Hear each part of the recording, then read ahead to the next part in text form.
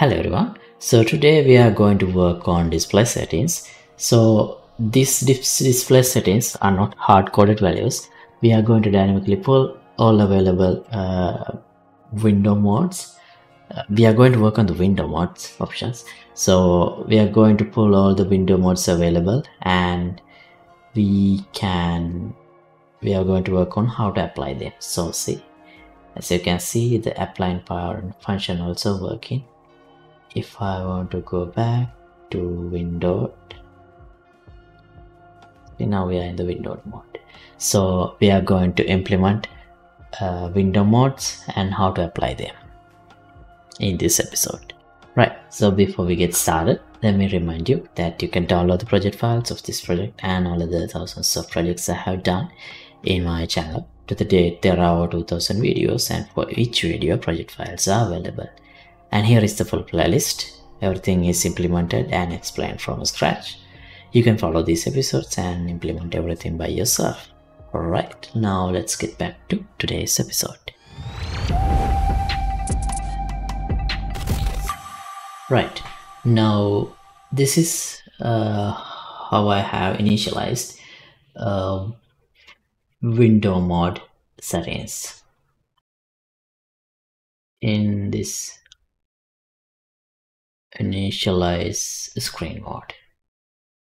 Maybe I should call window mode.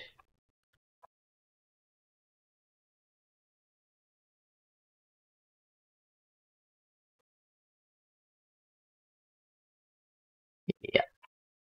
So I just hard coded this but that's not how I want to do.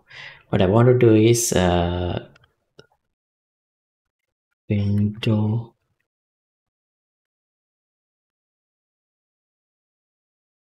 mode yeah. Here these are the available window modes this uh, for each window mode loop will loop us through all available window modes so let's do something like this. This is the window mode let me promote this to a variable and delete that. I just want to have this variable created all win let's call this all window modes and i'll make it an array. So by running through this and adding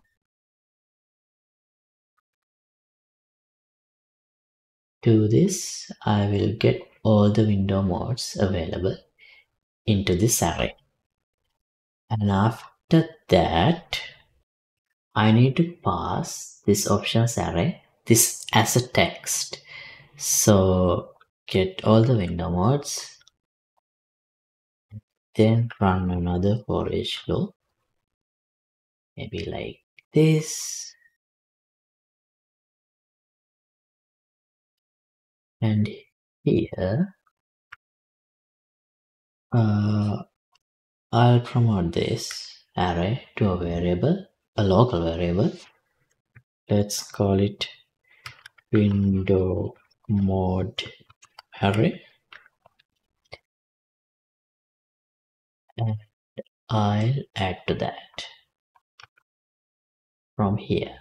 So I can get the window mode to string enum to string and then convert to text. This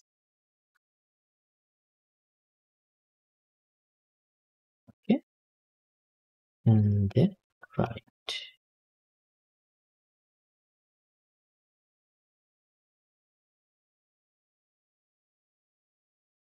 and also we need to pass the default selected index so we can get default window mode and this is the same enum e window mode enum and from this I can find item. This item and here we get the index. So I'll pass it like this. Right. Now this should dynamically initialize all the window mode options for us. Let's see. Settings, display. See, now we have full screen, windowed full screen and windowed. So they are dynamically initialized and also as the default value, I get windowed full screen. Maybe we should test this in a editor window. So usually these settings don't work properly within the editor. They usually work correctly on build game. So, okay. Now, when we apply, we can override apply options. So here I'll add a function. Let's call it apply window mode. So from this screen mode option, let's change this to window mode.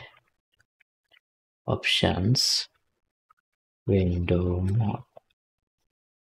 Oh, window mode mode.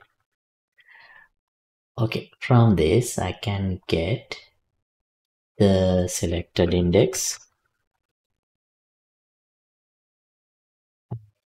From the selected index I can find uh, the selected window mode. Is in this? And then game user settings full screen mode. Set full screen mode.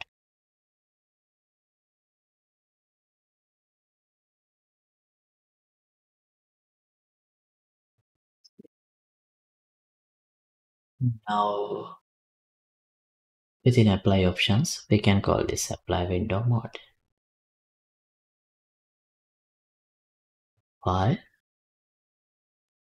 and also to make it work I think we have to apply resolution suggest to. And to test this properly I'll run it in a standalone game.